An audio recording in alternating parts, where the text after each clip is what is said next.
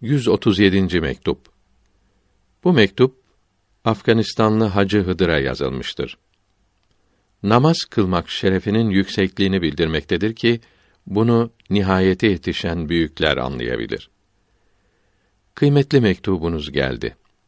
İçindekiler anlaşıldı. İbadetlerden zevk duymak ve bunların yapılması güç gelmemek Allahü Teala'nın en büyük nimetlerindendir. Hele namazın tadını duymak nihayete yetişmeyenlere nasip olmaz. Hele farz namazların tadını almak ancak onlara mahsustur. Çünkü nihayete yaklaşanlara nafile namazların tadını tattırırlar. Nihayette ise yalnız farz namazların tadı duyulur.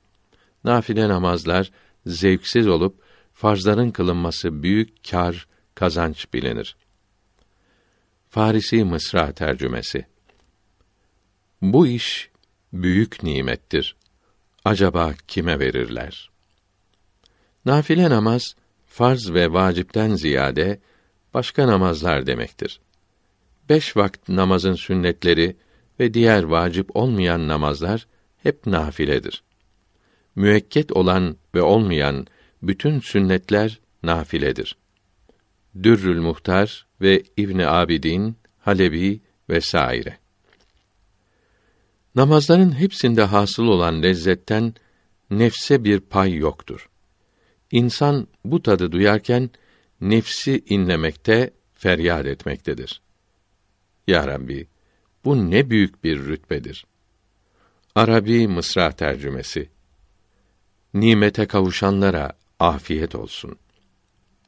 Bizim gibi ruhları hasta olanların bu sözleri duyması da büyük bir nimettir ve hakiki saadettir.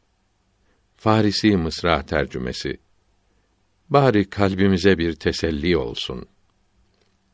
İyi biliniz ki dünyada namazın rütbesi, derecesi ahirette Allahü Teala'yı görmenin yüksekliği gibidir.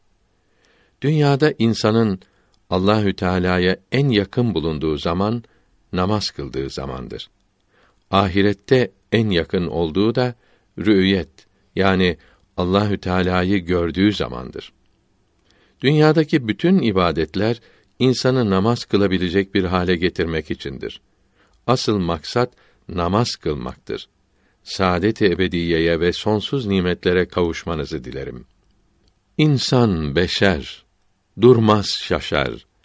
Eyler hata, üçer beşer. Düz ovada yürür iken ayağı sürter, düşer.''